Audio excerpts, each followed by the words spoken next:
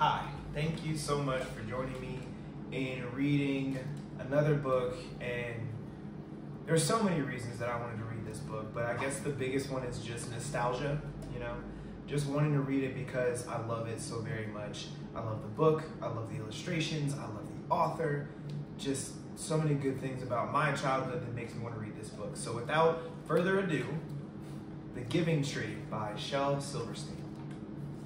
And this is a picture of him on the back.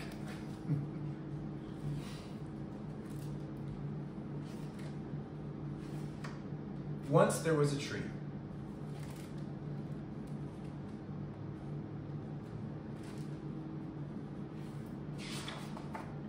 And she loved a little boy. You can see the tree, and then you can see something else happening on this page.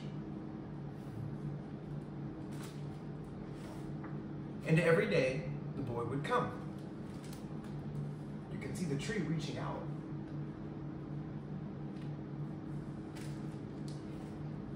And he would gather her leaves.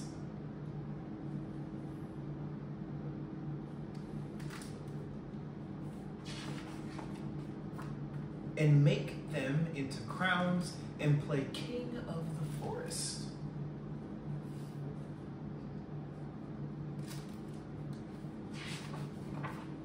He would climb up her trunk. I love his, his hands and feet. And swing from her branches.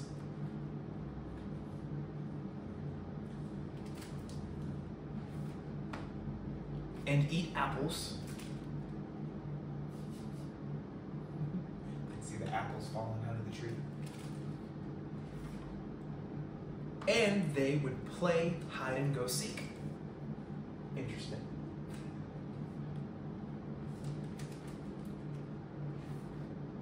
And when he was tired, he would sleep in her shade. She really does love him.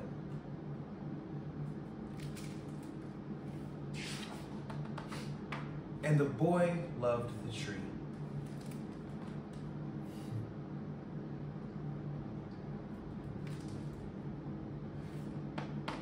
Very much. And the tree was happy.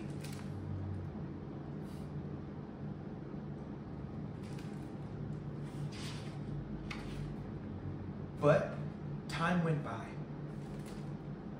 You can see the tree is taller, and so is the boy. And there's also something on the tree there. And the boy grew older.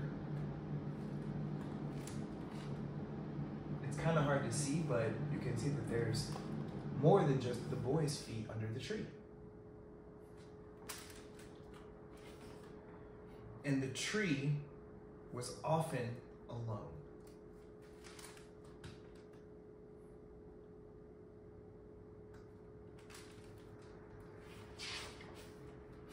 Then one day, the boy came to the tree, and the tree said, Come, boy, and climb up my trunk and swing from my branches, and eat my apples and play in my shade and be happy. I am too big to play and climb, said the boy. I want to buy things and have fun. I want some money. Can you give me some money? I'm sorry, said the tree, but I have no money. I only have leaves and apples. Take my apples, boy, and sell them in the city. Then you will have money and you will be happy. You can see the boy in the tree talking but he's not really a boy anymore.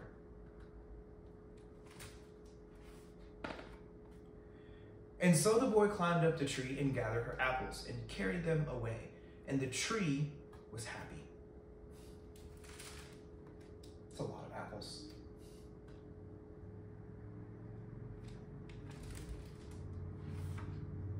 But the boy stayed away for a long time, and the tree was sad. And then one day the boy came back, and the tree shook with joy, and she said, Come, boy, climb up my trunk and swing from my branches and be happy. I am too busy to climb trees, said the boy. I want a house to keep me warm, he said. I want a wife and I want children, and so I need a house. Can you give me a house? I have no house, said the tree. The forest is my house. But you may cut off my branches and build a house, then you will be happy. You can see the tree and the boy talking, but the boy really isn't a boy anymore.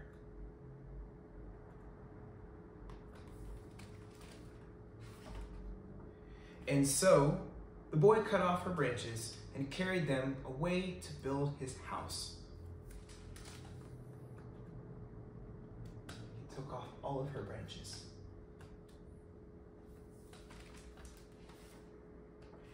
And the tree was happy.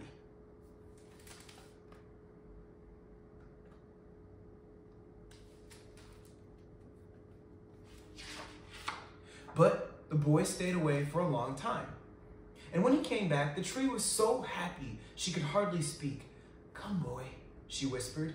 Come and play. I am too old and sad to play, said the boy. I want a boat that will take me far away from here. Can you give me a boat? Cut down my trunk and make a boat, said the tree. Then you can sail away and be happy. Now the boy really isn't a boy at all.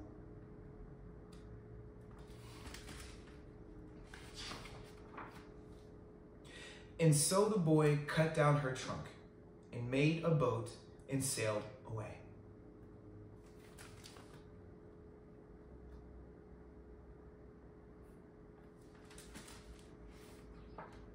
And the tree was happy, but not really. You can see the tree is just the tree trunk now. After a long time, the boy came back again. I am sorry, boy, said the tree, but I have nothing left to give you. My apples are gone. My teeth are too weak for apples, said the boy. My branches are gone, said the tree. You cannot swing on them.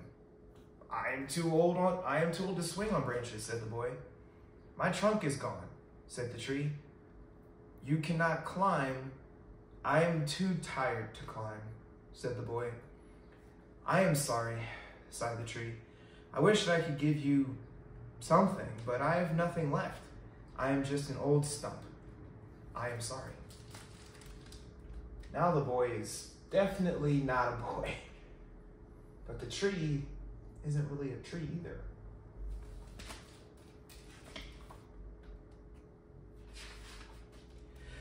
I don't need very much now, said the boy. Just a quiet place to sit and rest. I am very tired. Well, said the tree, straightening herself up as much as she could. Well, an old stump is good for sitting and resting. Come, boy, sit down, sit down and rest. And the boy did.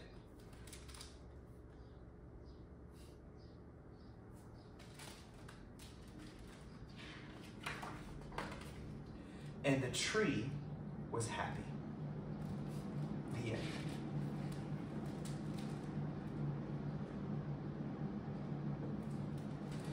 Now, I love this story, like I said, for so very many reasons, but it shows just how much someone or something is willing to give you for you to be happy.